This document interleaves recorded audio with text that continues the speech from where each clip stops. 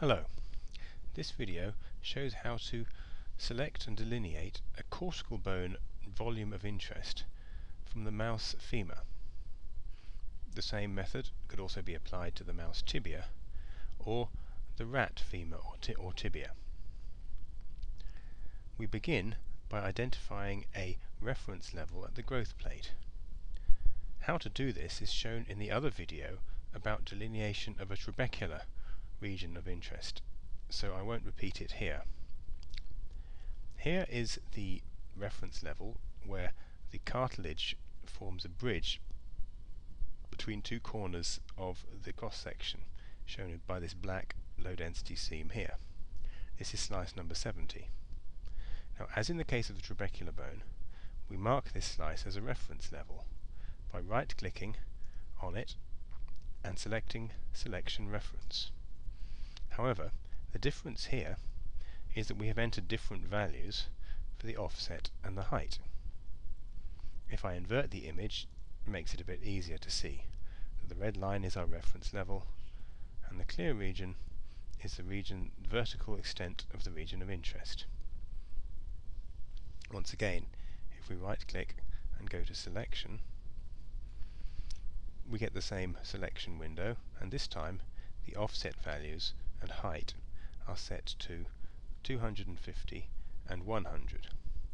This means that the distance between the reference level, the red line here, and the bottom of the region of interest is 250 slices, and the width of this clear region, the selected region, is 100 slices. I should just point out briefly that occasionally you may scan a bone which is the other way round, in which the case the growth plate is at the top and the analysed region down here. In this case, you need to enter a negative value for the offset.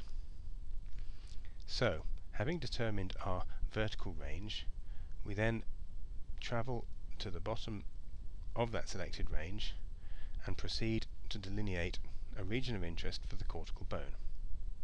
So we move to the region of interest page of CT Analyzer. Now what we want to do here is to make a hollow region of interest, which excludes most of the trabecular bone in the centre. So we do it like this. We can draw a region of interest, something similar to a horseshoe which overlaps on itself and then travels outside the cortical bone and it's usually sufficient to do this at the top and the bottom slices of the selected range only. We will not exclude 100% of the trabecular bone by doing this, but we will exclude most of it. Having delineated these two shapes, we click on the spacebar to animate between them and to check that our region of interest is acceptable.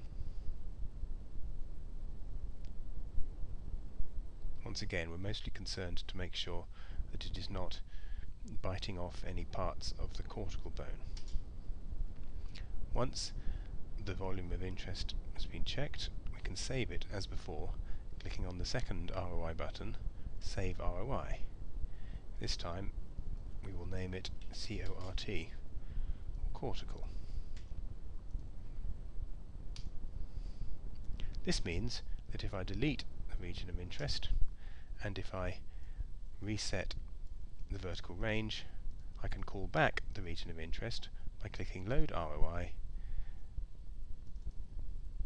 and it re restores both the vertical range and the edited shapes.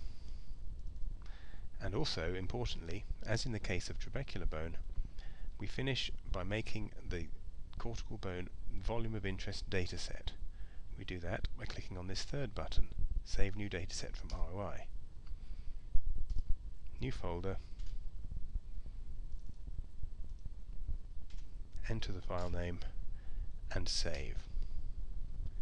It's very important to do the analysis from these reduced size VOI datasets, which makes analysis much more straightforward because of the smaller volume of the dataset. If I click open, here is the ROI dataset of the cortical bone. And to restore the ROI itself, go to the ROI page and open a new version of the ROI file created within the ROI dataset. Thank you.